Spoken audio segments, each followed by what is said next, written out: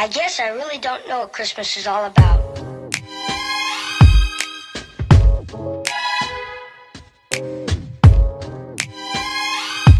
there anyone who knows what Christmas is all about? Hello, hello my Hive Tribe, it's Queenie Urbane and welcome back to my channel.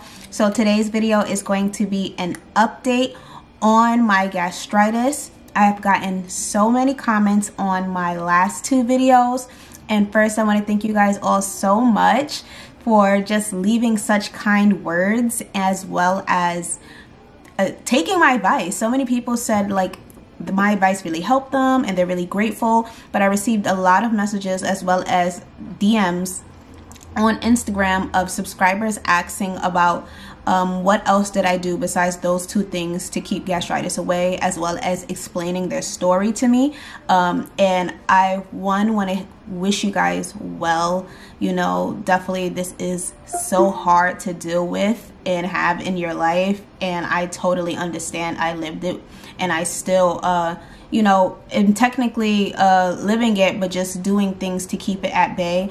And to be honest, those two things are what I do to really, really tackle my gastritis. But overall, I have made some changes just to my lifestyle. And I think that also played into, you know, my gut health. So without rambling on too much, let me just dive straight into uh, my update and answering you guys questions on um, gastritis. Okay, so just jumping straight in, what I did or continue to do to keep my gastritis away is that I have changed my diet a lot. Like I eat way more greens now. I eat a lot more vegetables um, and plant-based proteins or just proteins in general. I try to not eat sugar as much. I try not to eat uh, milk or a lot of dairy. And whenever I do start eating those things, uh, I notice a change in my stomach and it starts to like hurt again and I just go back to my regimen and you know double down on my celery juice and my um, green juice so it's not I'm not strict with it in terms of I have to only eat basically greens or a clean eating lifestyle. Um, not at all. I still go out, I still live my life, but I do typically eat that whenever I'm cooking for myself or whenever I'm at home.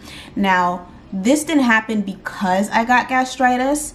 Um, this more so happened because well kind of it did like that's what introduced me to that lifestyle and then i started competing in pageantry um, in my first ever beauty pageant recently and for the months that i was preparing for that i had to clean um, eat clean from my coach's advice and through that my health really improved in terms of I could eat more of whatever I wanted. But because I had gastritis, if I really took it too far in terms of okay i'm having maybe a glass of wine three days in a row like that's me literally you are trying to hurt yourself right now like in your stomach or something and because i'm going out too much or just like socializing you know that is where i'm like okay especially if i'm eating if i'm drinking wine i'm most likely eating out with friends and stuff like that. So like that's when my stomach will literally start to show like little baby signs of like okay something like you need to change this because there are times where I'm not feeling that pain, and the times where I'm not feeling that pain is when I'm eating much better. So, for the people that are really struggling with their gastritis or their stomach problems, their gut problems, I definitely consider you to change your diet. But some of the stories I have heard, you guys, I'm not a doctor, so I definitely can't give you like more advice on what to do um, in terms of like if you're vomiting all the time, because I've gotten a lot of comments of that. My gastritis never got to that point where I was vomiting. It got to the point where I was getting like little like almost upchucks but it wouldn't come all the way out and that's how I knew something was wrong so like little things like that or just my stomach constantly hurting or heartburn um, anytime that I ate that was my problems so I advise you to definitely talk to your doctor or consult a doctor for symptoms more extreme than that. Um, and I just honestly can't give more advice on that. I'm so sorry. I'm really not a doctor. I'm just a girl who likes to live her best life. But, you know, now that I have this condition, I have to work my way around it so I can still thrive, be healthy. I don't want to just survive. I want to thrive and um, have energy to do the things that I want to do, which is chase my dreams. So with that being said, I'm going to dive actually in into my actual symptoms because people asked me that and I don't think I really spoke very detailed about that in my other two videos. The symptoms that I had was heartburn, stomach pain after I ate stuff, anything, and also and also no appetite. So stomach pain, like specifically in like the lower region area. That was where my pain was. It was heartburn. I couldn't eat. I had no appetite. Um and it was weird because I needed to eat, but I felt like my stomach almost shrunk to nothing. like I was so skinny and that too. I would feel bloated after eating things and it would hurt really, really badly. Like really bad to the point of like heartburn was now developing too. Like I don't know what was going on, but it was a combination. The thing that really was not really an indicator to me. Um, I had a friend who works in the medical field, and he's the one who noticed like you should get checked because um, we went out to eat once and um, we had sushi, and I was in such pain, but like a bloating pain that was so just painful. I can't even describe it, but I felt so bloated that I was gonna explode. The way the person realized something was wrong was when I told them that I always have stomach problems for the last like two years and I just take painkillers every day. There was a point where I was taking painkillers every single day just to like eat. and I didn't think anything of it. Like I didn't go to the doctor often. Um, I had no one around me that um, would know these signs. Now that I talk about gastritis, people like talk about it, but before I swear I was diagnosed, I never heard of this. So um, I just was like living my life and my mechanism was like, okay, before I eat a meal, I'm gonna take painkillers, which was so bad for gastritis. Like that's what was making it develop worse and worse. So, um, yeah, it got to the point that one day I ate a meal and I was almost crippled after eating the meal. Like the pain was so bad and um, I had to go get checked out and I did and that's what they told me that, you know, it's gastritis. They gave me uh treatment and with the treatment is when I started my holistic research because the treatment just was not for me. Like it was probably a good treatment but I'm terrible with medication as I said in my other video. They gave me some type of medication something that starts with the F. Um, and then I know I also was taking Nexium um, to help with the heartburn and it was also helping with the acid in my stomach. So while taking those two things and um, you know dealing with the gastritis, I just cut my diet down at that time. When I'm talking about this was peak, I went through the worst pain ever that I got, you know, basically hospitalized. I uh, cut my diet down to clean eating food, and I'm talking about I cried the whole way through.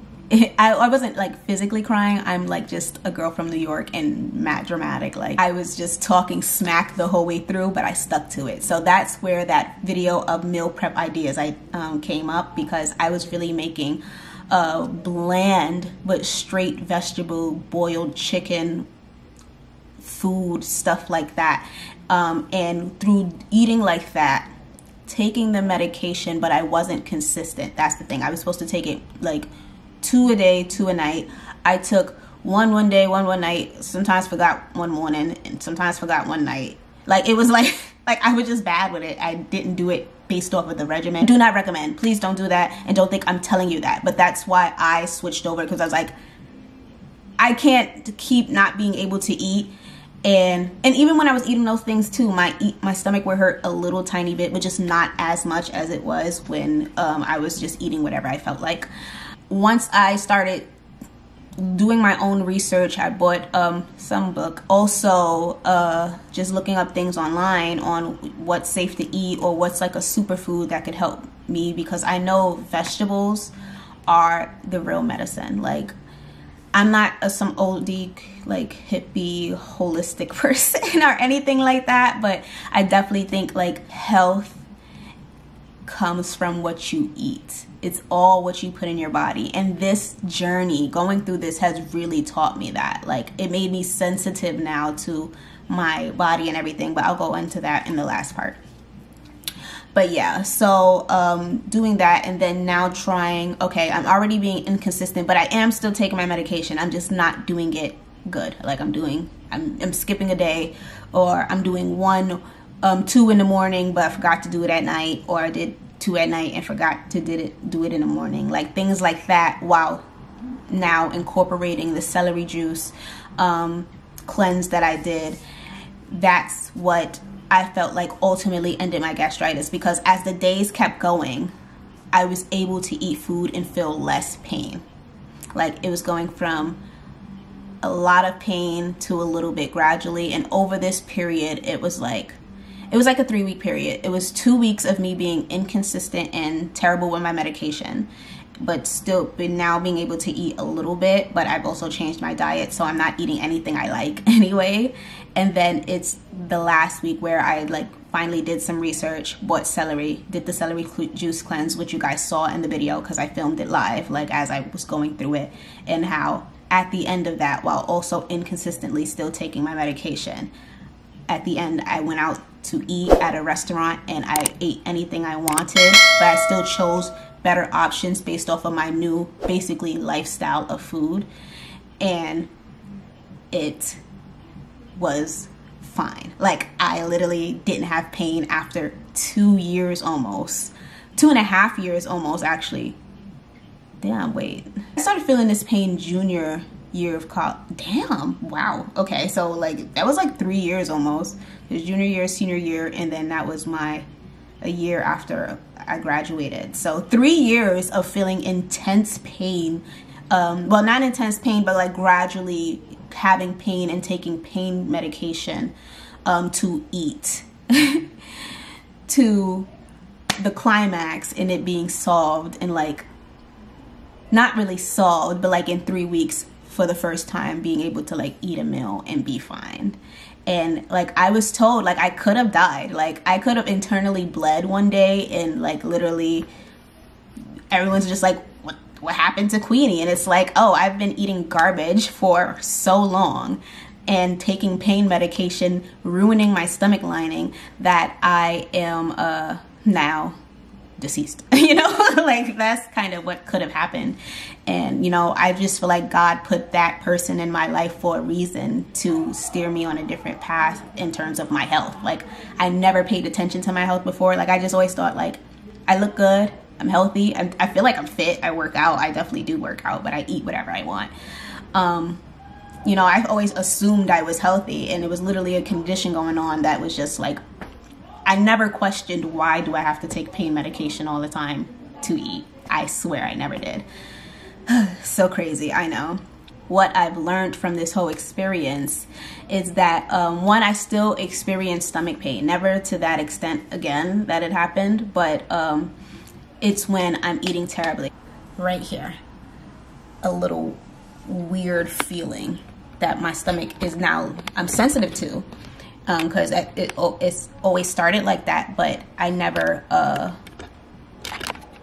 I never really paid attention to it. But like now I'm sensitive to it. So I notice it and my body's telling me like, girl, for those that's not at the point that it's like if you're vomiting every day i am so sorry and i am literally going to pray for you after this video um and like for my subscribers that's going through stuff like that or like intense pain where they're like hospitalized is every day because i won't have any advice for that. I can just tell my journey in this. But, you know, I pray that you can find something, or if you're able to change your diet, like to the point where you're force feeding yourself to eat like a bare avocado. And like, I know that sounds like if you're not like a vegan or something like that, like that sounds kind of gross to just eat an avocado, no salt, no anything, like just. But that's kind of how I got with this to change my stomach. Like I started eating vegetables raw, like biting a cucumber, and it was disgusting. like I'm not saying like, oh yeah, that's a, it's a party time. No, like it's like the food is affecting me so i have to pick better food even if i hate it and if i hate it i just gotta force myself to eat it and to be honest while i would force myself to eat a lot of meals um uh, because I still to this day just do not like healthy food that much. Like it's like a few months of this being my journey and it still doesn't taste like something like, oh, I prefer this. Like it's it's still not like that. I just at this point it's discipline and seeing food as energy, not as really taste. But when I go out, that's for like taste and like boom boom. So that's why I give myself those luxuries of going out to eat. It's just balance, of course. So, you know, if you are going through something to that extent, I pray you find something to help you with that journey. But for those that if my symptoms sounds like what you went through or what you're going through or even a little similar and you realize that even if you're taking your medication you're not really changing how you eat like you're choosing more processed food regardless like you're not eating clean and raw you know as basically 70% of your meals um, or at least 65% of your meals because that's what i think is for me like i eat very clean like 65 to 70% of the time and then the other 30% I do whatever.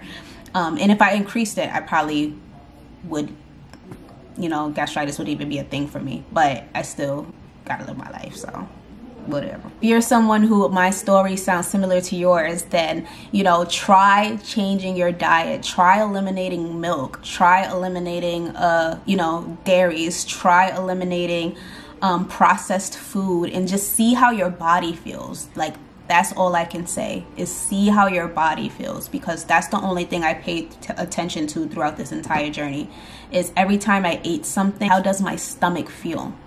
And I promise you, when I ate the nasty greens, my stomach felt happy. My brain felt happy. I had clear thoughts. Like it was my anxiety was gone. Like i it overall made me better. So i didn't deal with gut problems. But when i eat bad food i kind of immediately notice it. I still got my celery juice. Uh this one is from the store though. So it's a lot more stronger. A lot lot lot more stronger. It's um cold pressed Got this at Whole Foods. And then I'm still taking my Moringa, but I don't have capsules right now. So I'm just taking the powder. I have a bunch of these little powders right here that I also got from Whole Foods. And literally, um, I just put a spoonful because there's five servings in one and it's the same amount as the capsule and that's how I'm taking it. I thank you guys all so much for watching and I hope to see you all in the next video. Be sure to subscribe and thumbs up this video. That would really help get my channel out into the algorithm, you know, promote it more, help more people, people that are going through this. Like, I'm just giving my tips. This is what I did, and I want us all to not, like, be in pain. Bye. I guess I really don't know what Christmas is all about.